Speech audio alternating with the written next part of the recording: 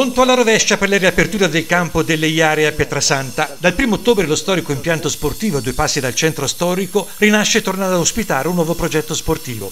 Ma è anche pronto a riconquistare la sua centralità come punto di incontro e ritrovo per le famiglie di Pietrasanta e della Versilia. I lavori sono in corso.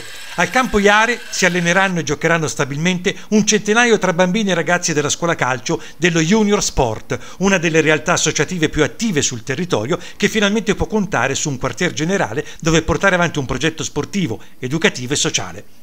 Per la riapertura del campo dello Iare è stato fondamentale il contributo dell'amministrazione comunale per il rifacimento del manto erboso, così come importante è stato l'impegno e lo sforzo dello Junior Sport che ha rimesso a nuovo spogliatoi locali riqualificando l'area esterna con una pulizia approfondita e realizzato un nuovo impianto di irrigazione.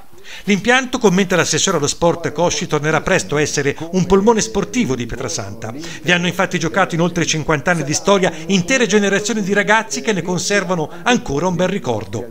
Altri finanziamenti sono di 460.000 euro per il nuovo pedonese, 400.000 per la Pruniccia del prossimo biennio, poi finanziamenti anche per il campo di atletica e la cittadella dello sport nell'ambito dell'accordo con COP. Il progetto è stato infatti anticipato alcune settimane fa. L'amministrazione Giovannetti investe dunque sullo sport cittadino, considerato non solo uno strumento aggregativo molto potente per giovani e famiglie, ma anche in chiave turistica, in particolare nei periodi di bassa stagione.